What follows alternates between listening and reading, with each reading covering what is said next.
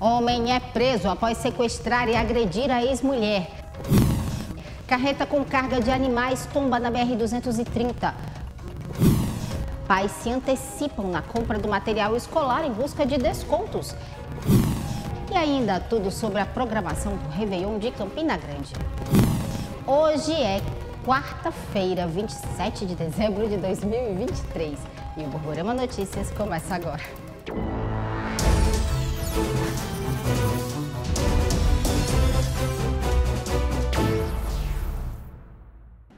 Olá, boa noite. A gente abre essa edição mostrando que um homem foi preso suspeito de sequestrar e agredir a ex-companheira aqui em Campina Grande. O suspeito ainda responde por homicídio e está preso na carceragem da Central de Polícia.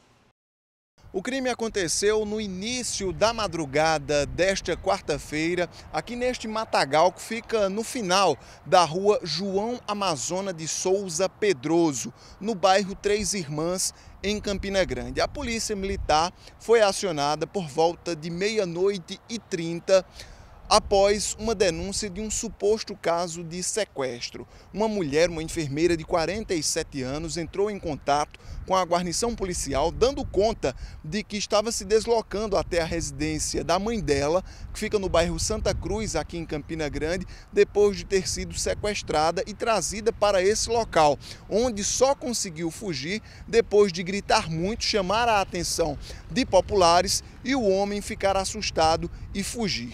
Esse homem tem 46 anos e é um ex-companheiro da vítima. A informação que ela repassou para a polícia é de que ele havia procurado ela ontem à noite para conversar.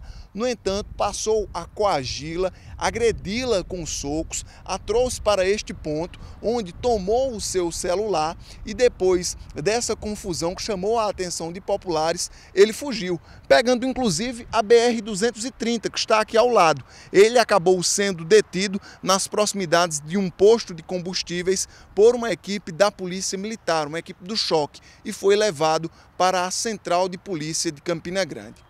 Esta mulher já havia solicitado uma medida protetiva contra este ex-companheiro que está envolvido em um processo de homicídio. No entanto, de acordo com a Polícia Civil, ainda sem um mandado de prisão expedido contra o mesmo. Olha, a Polícia Civil realizou uma operação na manhã de hoje para combater o tráfico de drogas no município de Cuité, no Curimataú, Paraibano. Sabrina Lima tem os detalhes. A operação realizada hoje cumpriu quatro mandados de busca domiciliar. O objetivo é combater o tráfico de drogas ali no município de Cuité, Curimataú, paraibano. Durante essa operação, um homem foi preso em flagrante por tráfico de drogas. O homem de 21 anos estava em sua residência e no local foram encontrados vários papelotes de maconha, balança de precisão, assim como material para a divisão e comercialização da droga, além de rádios comunicadores e uma máquina de cartão de crédito. O delegado Daniel Seabra deu mais detalhes dessa operação operação que contou com o apoio de dezenas de agentes das forças de segurança. Na data de hoje, dia 27 de dezembro de 2023, foi deflagrada a Operação Samurai na cidade de Cuité. Operação conjunta entre as polícias civis da Paraíba e Polícia Militar da Paraíba, especificadamente o Grupo Tático Especial da 13ª Delegacia Seccional de Polícia Civil, juntamente com investigadores das delegacias de Cuité e Picuí, bem como militares do 9 Batalhão de Polícia Militar da cidade de Cuité. Todos os alvos estavam na cidade de Cuité. A operação visava o cumprimento de mandados de busca e apreensão na cidade de Cuité, em quatro locais. Hum, foram apreendidos drogas, celulares, material para insumos para entorpecentes, né, material para embalagem e venda de entorpecentes. É, foi preso uma pessoa em flagrante por tráfico de entorpecente, que está sendo autuada em flagrante e será encaminhada para a cadeia pública. É, então, operação bem sucedida hoje, Operação Samurai, né, que foi deflagrado, foi realizado também com apoio do canil da Polícia Civil, né, do Grupo de Operações com Cães da Polícia Civil, é, que realizou as buscas e o encontro da, dos entorpecentes. Olha, o motorista perdeu o controle de uma caminhonete e acabou tombando o veículo na BR-230 aqui em Campina Grande. Os animais que estavam sendo transportados acabaram sendo levados para uma feira. O acidente aconteceu no final da noite desta terça-feira, aqui na BR-230, Alça Sudoeste, bem próximo ao posto Sudoeste.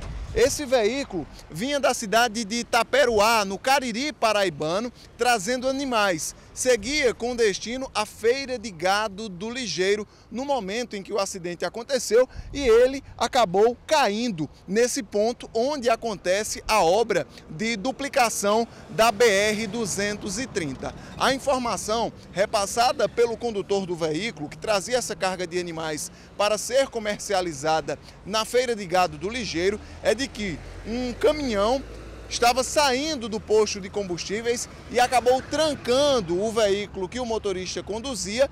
Ele, para evitar a colisão entre os dois carros, acabou vindo para esse ponto onde há essa diferença de nível. Existe aqui uma altura de aproximadamente um metro de diferença. O veículo acabou tombando, mas por sorte ninguém ficou ferido. Os animais foram retirados da carga e encaminhados para a feira de gado do Ligeiro. Esse acidente aconteceu nesse trecho onde os motoristas, motociclistas, condutores de um modo geral que passam pelo trecho, dá para perceber que é um trecho extremamente movimentado. Obviamente, em função disso, está acontecendo essa obra de duplicação da BR, mas por conta da obra, o trecho fica ainda mais perigoso. Então, em função disso, os condutores pedem mais fiscalização e orientação nesse trecho da BR-230 para evitar que outros acidentes possam acontecer aqui nesse trecho. A seguir, o EPB lança concurso para docentes e ainda dada a largada para a temporada de compra dos materiais escolares.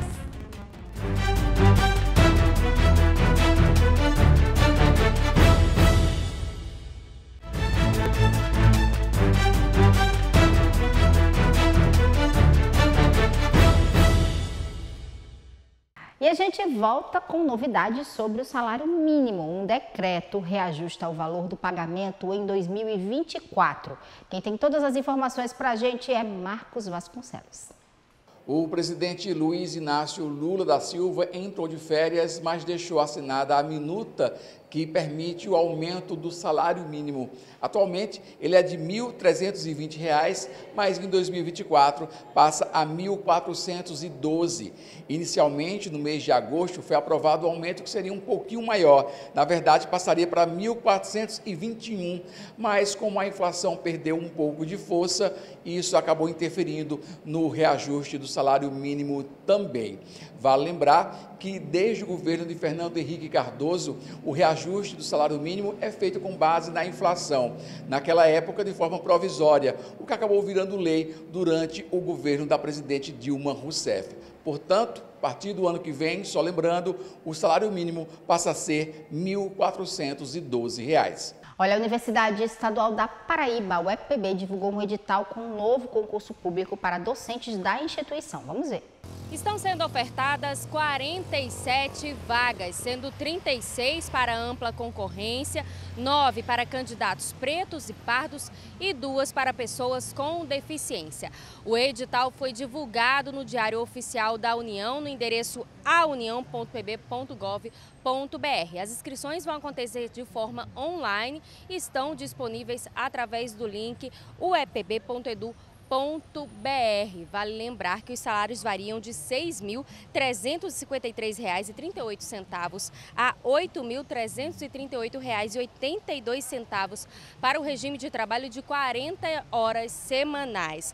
As inscrições terão início no dia 5 de janeiro e vão até o dia 5 de fevereiro.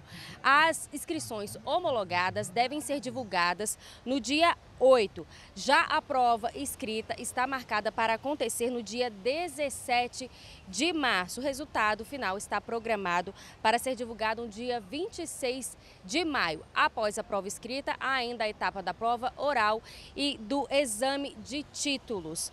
Todas as informações sobre o concurso, o cronograma, datas, também os documentos necessários, assim como as vagas disponíveis, estão tanto no link né, do Diário Oficial da União, que é o aunião.pb.gov.br, assim como também no site da própria instituição, que é o epb.edu.br. Olha, chegou aquela época tão temida para os pais do compromisso anual na busca por materiais escolares. Pois é, muitos pais buscam se antecipar nessas compras para conseguir descontos nas lojas e também evitar as filas, né?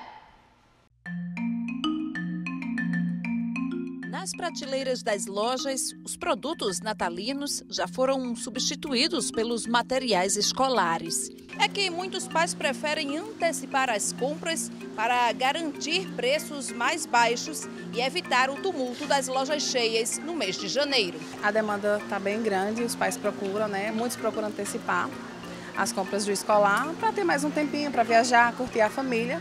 E a gente está sempre se preparando antes para é, atender ao público. Elisângela mesmo aproveitou os últimos dias de 2023 para comprar o material de Paulo Lorenzo. Janeiro acaba que é um mês muito apertado, porque a gente paga matrícula, aí vem material escolar, além do material didático, né? Vem livro, vem lancheira, vem mochila. Então, se a gente deixar tudo para janeiro, fica com um orçamento muito apertado. Então, acaba que metade das coisas escolares acaba entrando em dezembro. Tem que ser em dezembro, senão janeiro a gente fica com a corda no pescoço. Dá para conseguir um preço melhor também antes da virada do com toda certeza. Não tenho nenhuma dúvida disso. Assim, acho que até quem puder vir um pouquinho antes de dezembro, tipo novembro, acho que ainda consegue um valor bem mais acessível. Esse é o segundo ano que o pequeno vai para a escola e já está aprendendo.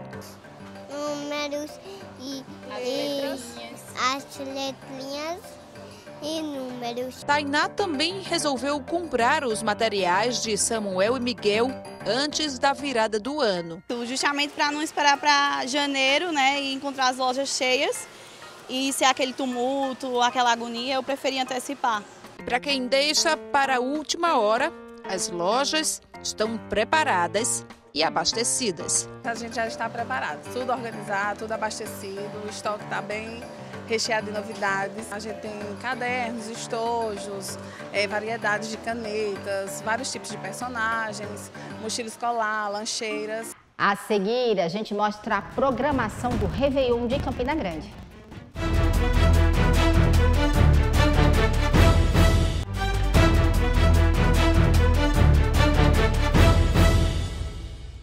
Olha, nessa época de verão, a gente sabe que as temperaturas vão lá para cima, né? E uma das alternativas para se proteger é o uso daquelas camisas com proteção UV.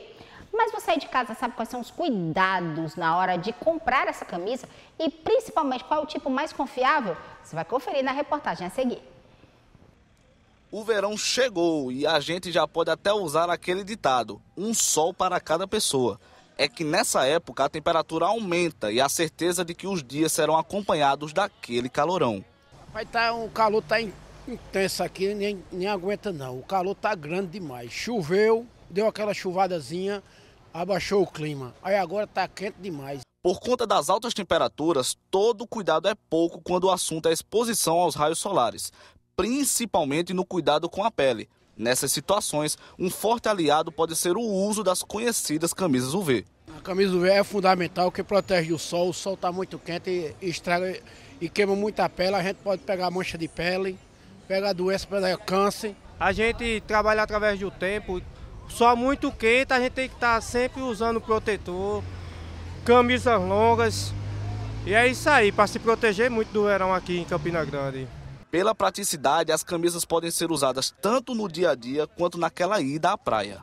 Então, a gente se expõe muito ao sol, né? Então, essas eh, radiações, esses raios ultravioletas, elas podem causar câncer de pele, queimadura, vermelhidão. Então, o uso de uma proteção química, que são os filtros solares, e quando puder uma física, como uma camisa com UV, elas são importantes para proteger contra esses danos. Então, queimadura, é, vermelhidão, câncer de pele. Então, esse é, é um grande objetivo. E se tem gente comprando, o comércio fica mais aquecido e agora a gente nem está falando de sol.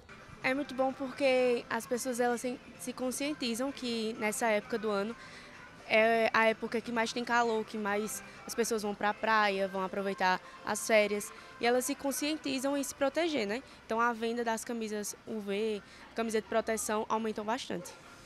E é somente as pessoas que vão às praias ou também o pessoal que trabalha no dia a dia, Uber, mototaxistas também buscam? O pessoal que trabalha no dia a dia também, mototáxi, tanto pessoal que é vendedor ambulante por aqui, vem comprar para ficar protegido contra as doenças, né, câncer de pele, etc.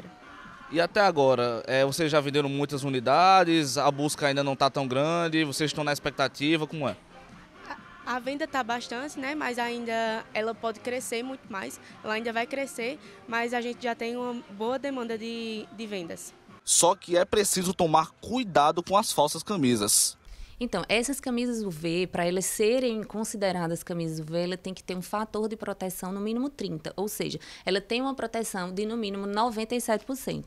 Então, quando for comprar, tem que olhar na etiqueta, se tem certificado contra o Inmetro, se tem qual, falando qual o fator que ela tem, né? Porque essas camisas normais, elas protegem no máximo, no máximo 30%. Então, não é uma proteção maravilhosa. Então, se você usa uma camisa que não é com V, não tem a, a proteção ultravioleta, você tem que colocar o protetor, solar por baixo e usar a camisa. Porque como ela não tem uma proteção tão eficaz, você ainda pode ou se queimar ou no futuro ter problemas com câncer de pele. Então você olha a etiqueta, vê se tem certificado, qual o fator que tem. O ideal é que tenha um fator de 30 para cima. Então o ideal ideal é ser de 50 mais, que ela vai te proteger mais de 98%. Bom, e você aí de casa vai passar o Réveillon em Campina Grande? Então vamos lá que tem programação para todos os gostos na Rainha da Borborema, viu?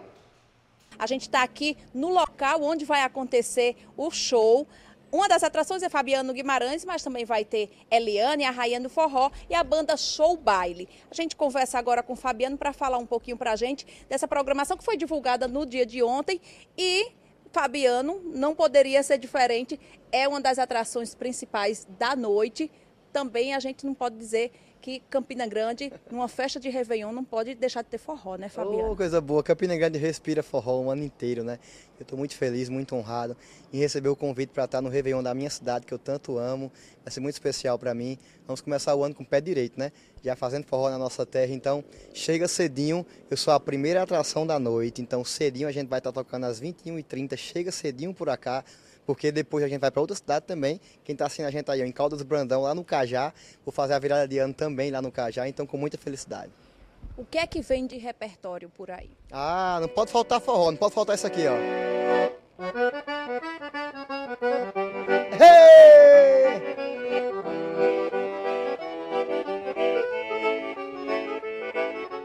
Quero saber o que sinto por você, de onde vem tanto querer nem eu mesmo sei porquê. E explicar essa paixão vai ser bom demais.